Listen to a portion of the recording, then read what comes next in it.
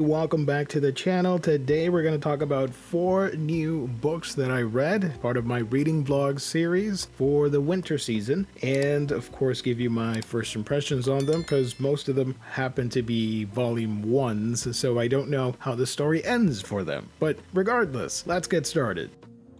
The first book that we're going to talk about here is A Cat from Our World and the Forgotten Witch. This is by Hiro Kashiwaba. This is volume 1, published by the folks at Seven Seas Entertainment. And in a nutshell, this tells the story of this adorable giant cat who gets isekai'd into another world. However, when he is struck by a truck in the streets, this particular witch from another world happens to summon for a familiar, and I guess the two link up, and the cat ends up in her world where it's fantasy based with uh, heroes fighting against the demon lord and stuff like that. She used to be a mage, I guess, or a witch, and helped the hero defeat the demon lord. Now, she is much older and people have forgotten and they just say that she is the town witch and are uh, really scared of her, thinking the worst of her. But she's actually a very somewhat cranky but sweet old lady at this point and she wants a companion, so she does a summoning spell for a familiar beast and the cat happens to show up. Now, they don't say anything in this volume to suggest it. I don't know if we see other cats in this series. I assume not. And the size difference is explained. Apparently, in this world, people are tiny compared to our world. I think part of the appeal here for me, aside from the art, which I'll talk about in a moment, is the fact that this is a story about two kindred spirits, regardless of it being a cat and a human, not knowing that they need each other, suffering from past trauma. In the case of the witch, she has been forgotten, and at the same time, she is misjudged and criticized by by the population for something that honestly she's not at fault with. People are going by appearances and believing old tales that she's this evil witch when in fact she ended up saving everybody when she was younger. The part I really enjoyed the most, aside from the heartwarming story, is the art. I think it is fantastic. I love the expression on the cat's face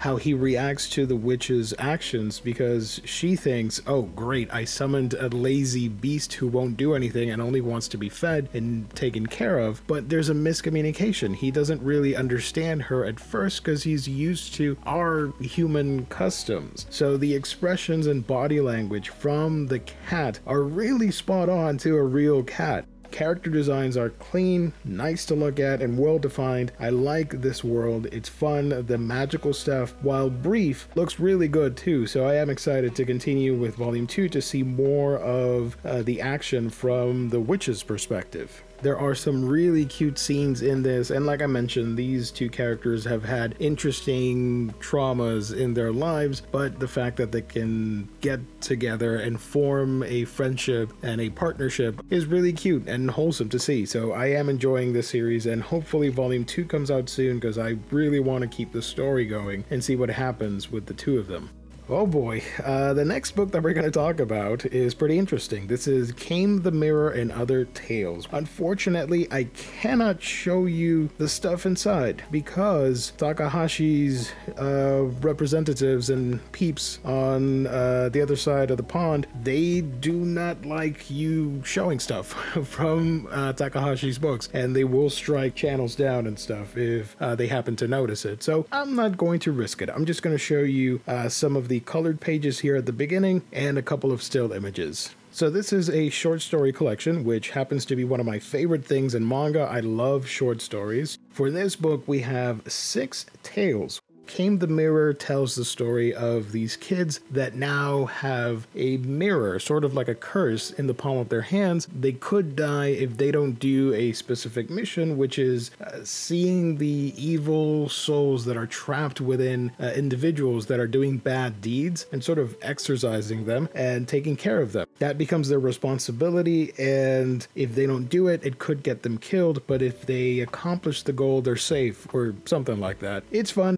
Nice mix of horror and action. I thought that was pretty cool. The ending I thought was just a bit underwhelming, just a tad. The next story, Revenge Doll, tells the story of a very self centered, horrible mangaka and the things he says and does because things don't go his way. His series is being canceled, so he takes it out on his staff and he gets a surprise package of a, a revenge doll that supposedly, if you write the names of three people, uh, they'll get cursed. And the final, the third and final strike will be uh, to actually murder somebody. So he's contemplating on using it on various people. It's a very odd story. You're not supposed to root for any of these guys. So the result of it was just kind of weird. But it was interesting to see a short story set in the manga creation world. That was fun.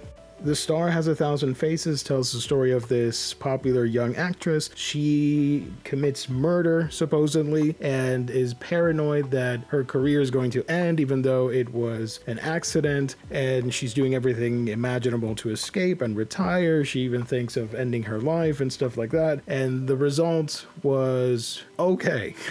So far, these stories have interesting setups and just okay resolutions. Lovely Flower reminded me of a quirky Junji Ito gross out comic, and it tells the story of this young lady who is married to a scientist, if I remember correctly, and she is getting stalked by this individual with a very peculiar flower that is very stinky to her, but works sort of like an aphrodisiac for everybody else house and people start getting obsessed with the flower so they want more of it and she thinks that this person is a stalker and again kind of reminded me of an Ito story to be honest. I thought it was uh, one of the better ones here with Cat. I think this is my favorite out of the six stories here. It tells the story of these two kids that at first hate each other because of an incident when they were young. The young kid was climbing a tree and he was frightened of cats. The young girl climbs up to show him the cat and he falls from the tree branch and breaks his arm. Now the kid hates the young girl and a long time passes. I believe now they're in middle school or high school, one of the to. I don't know. And they still don't talk to each other.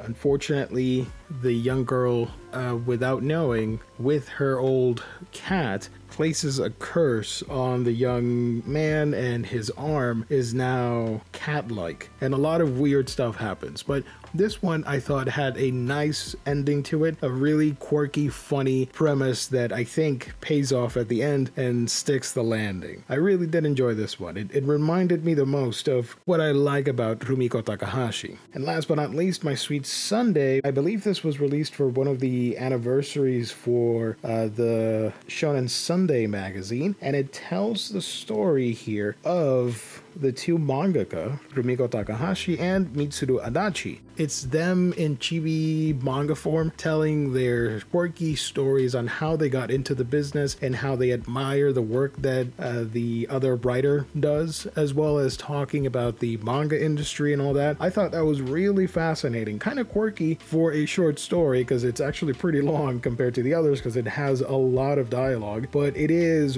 worth reading. If you're a fan of the creators, if you're a fan of the manga industry, I think this will be to your liking. So, yeah, overall, solid uh, list of short stories. They don't necessarily stick the landing for me, but they're fun nonetheless. The art is beautiful on all of them. That is for sure one of the big positives for this book. And again, if you like Rumiko Takahashi, I think this is a book that you need to add for your collection.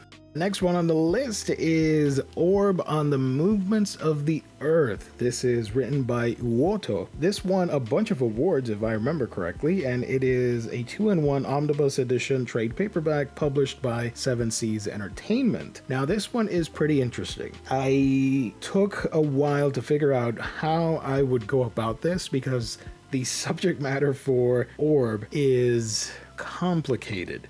I will tell you in a brief summary of this, but you could easily do a full analysis, a full video essay on the themes here of uh, Orb and still not scratch the surface. I think this is a fantastic series. This story takes place in 15th century Europe, and we follow a young kid called Rafal who is studying to go into university. He wants to be an astronomer, but at this time, you might remember that with the church being in complete control of certain areas, that was looked down upon because that would invite uh, heretical teachings and all that stuff that go against the doctrine at the time.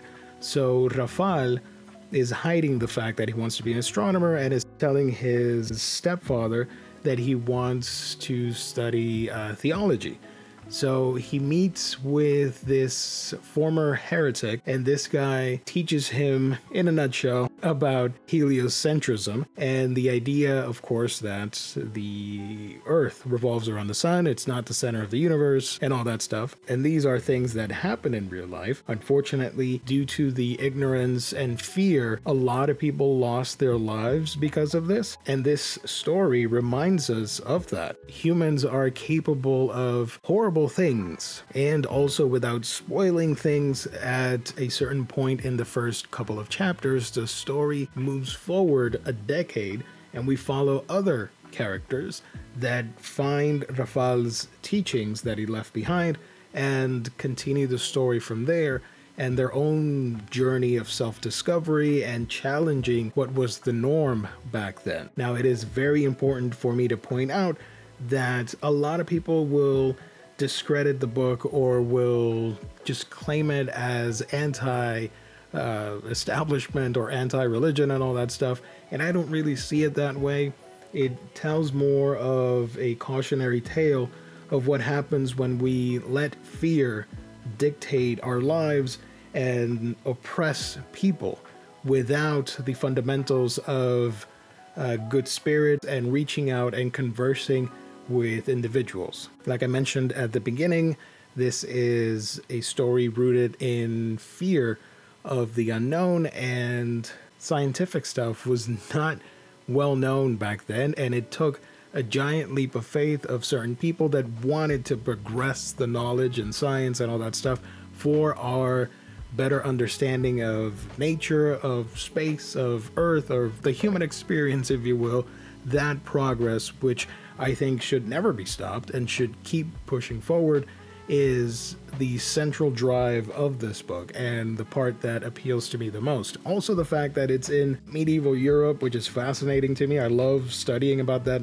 time period, and the characters here are very human in the way that they are written. They have fears and concerns, but also hope and optimism of the fact that the knowledge that they are seeking can change the world for good. And it's very important to remind ourselves that it's not about the religion, it's about people fearing and committing things in the name of a doctrine. When the doctrine does not call for uh, torture and violence and all that stuff it's very important to remember that we are heavily flawed beings, but it should not be the total absolute of a thing. If that makes sense. I don't want to get too much into it. Uh, some people might not like what I'm saying, but I wanted to share my thoughts on the book. The art is great at times, but other times it's just okay. It fluctuates between amazing and kind of mid. But overall, I like the fact that it blends real topics with these characters and real human dilemmas presented here. Yeah, pretty interesting book. Orb on the Movements of the Earth.